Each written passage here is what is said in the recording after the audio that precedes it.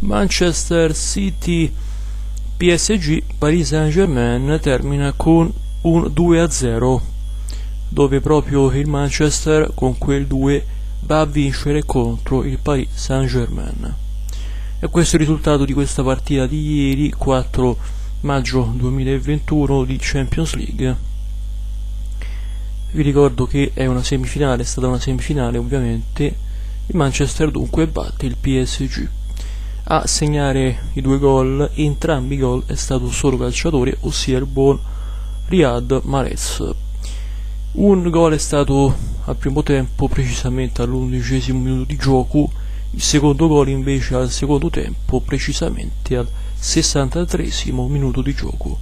Che partita è stata? Una partita davvero straordinaria, bella da vedere, quindi dove il Manchester ha veramente impiegato tutte le sue forze riuscendo a sconfiggere il PSG in maniera garbata, in maniera davvero piacevole e soprattutto utilizzando tutte quelle che sono le proprie doti atletiche barra fisiche di cui effettivamente parlando dispone. Complimenti dunque al Manchester City, giù di tono secondo me il PSG, ma comunque è stata lo stesso una bella nonché gradevole partita di calcio.